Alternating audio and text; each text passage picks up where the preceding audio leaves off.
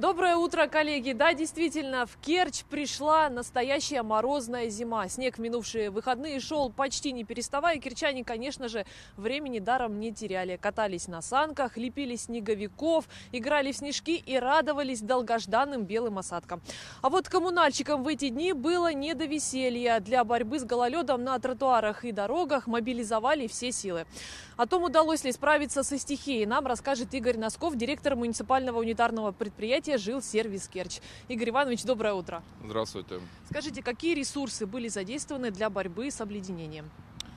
А, ну, наше предприятие, а, мы заблаговременно уже начали готовиться. То есть э, служба ЕДДС нас э, оповестила, что меняется резко погода. Было проведено Э, совещание на уровне нашей комиссии по ТПЧС. И э, все моменты, которые нужно было для подготовки, были оговорены. А, мы создали соответствующие документы, назначены были службы, дежурные. На предприятии были у нас организовано круглосуточное дежурство на уровне наших э, гаража. То есть там две машины у нас постоянно находились полностью затаренные э, пескоразбрасывателя КАМАЗа с э, пескосоляной смесью. И в любой момент по указанию должны были выйти, чтобы в конце концов так и получилось. То есть уже в пятницу, если мы помним, погода еще днем нас баловала, вечером начала примораживать. Э, усложнялось это, конечно, тем, что э, нас не балует погода, и правильно, она не в рабочий день, да, а на выходные дни. Э, конечно, мы, понимая, что впереди предстоят выходные дни, были все люди предупреждены о том, что предстоит серьезная работа. И я могу сказать, что трудовой коллектив с задачей справился. То есть в пятницу вечером в 11 часов, уже где-то в районе 10-11 вечера, пришел первый сигнал. Это у нас со стороны Аршинцева, что там уже обледенение дороги начинается. У нас один пескоразбрасыватель выехал туда, сразу начал остановку партизанскую, подсыпал Нижнесолнечно, и там в сторону Аршинцева начал работать. И второй пескоразбрасыватель уже закрывал центр и другие там проблемные моменты, которые связаны были опять с гололедом.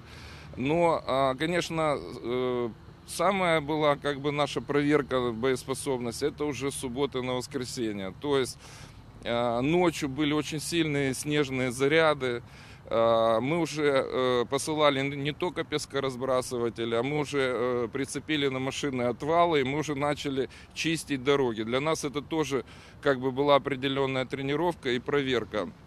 Э, мы почистили весь центр. То есть э, я тоже считаю, что с задачей э, по очистке дорог мы, в общем-то, справились. Также и я хочу отметить, и а, Крым Автодор тоже поучаствовал, свои дороги они почистили. И в целом жители нашего города на выходные дни видели, что коммунальщики трудились. Но а одной механической уборкой, конечно, эти вопросы мы бы не решили.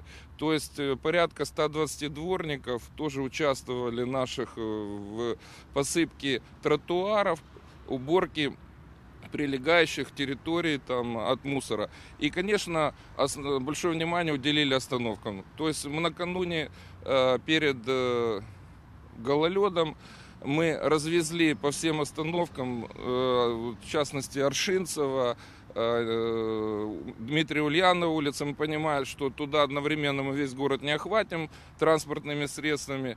Э, в пакетах мы выставили песок, пескосоляную смесь, и наши дворники, убирая остановочки, сразу же их присыпали. Соответственно, люди, когда утром проснулись, уже пришли на остановки, они видели, что гололед уже на них отсутствовал.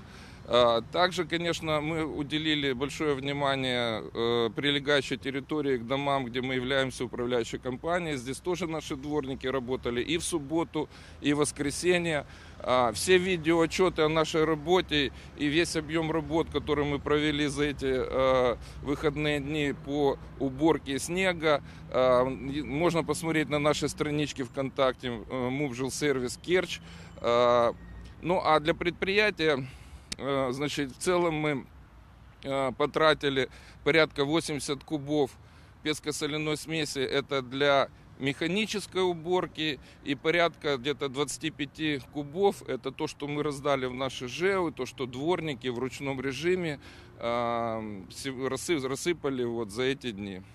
Игорь Иванович, спасибо вам большое за эту информацию и за работу ваших служб.